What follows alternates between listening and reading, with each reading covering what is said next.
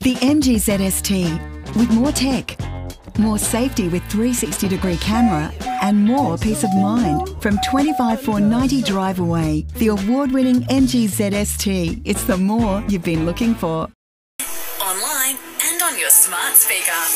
Clarity Dental Fourways. Arrive in confidence, leave in comfort.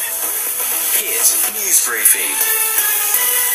Hello, Emma Griffiths at your national briefing. A facility to build and maintain Australian naval vessels will be built in WA. It's part of a $4 billion commitment from the federal government. Prime Minister Scott Morrison says it'll boost our defence capabilities. The integration between what happens on our western coast, on our eastern coast, is incredibly important for how we defend our nation, and to have the capability to support those efforts is absolutely critical. We're being told to brace for another hit to the hip pocket with the cost of groceries going up on the back of rising fuel prices. Transport and commodities are also on the rise, increasing the price of items like beer, bread, and fruit and veg.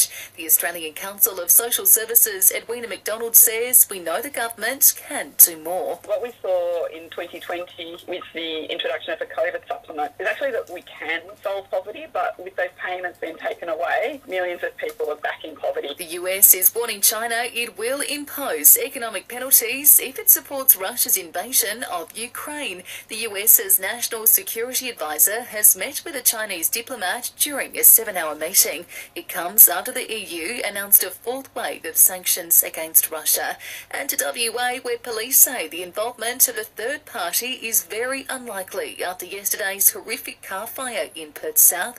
It's been confirmed two children aged 8 and 10 and a woman in her 40s died in the place in a beach car park. Whenever you're working near power lines, plan ahead and check power line locations with the Ergon Lookup and Live app. Download from the Apple or Google Play Store. In sport, Pakistan is chasing 506 runs to win the second test against Australia, with the Aussies declaring it 2 for 97 early on day four. Meantime, the Aussie women's cricket team has extended their winning streak at the World Cup to four games in a row. They've scored a seven wicket win over the West Indies. And tears and beers are flowing for Aussie golfer Cameron Smith after taking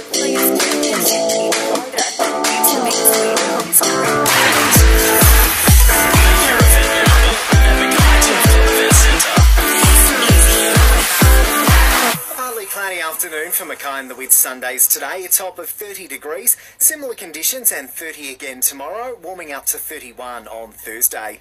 And our listener app is your new home of local news. Download the app now to listen live or on demand.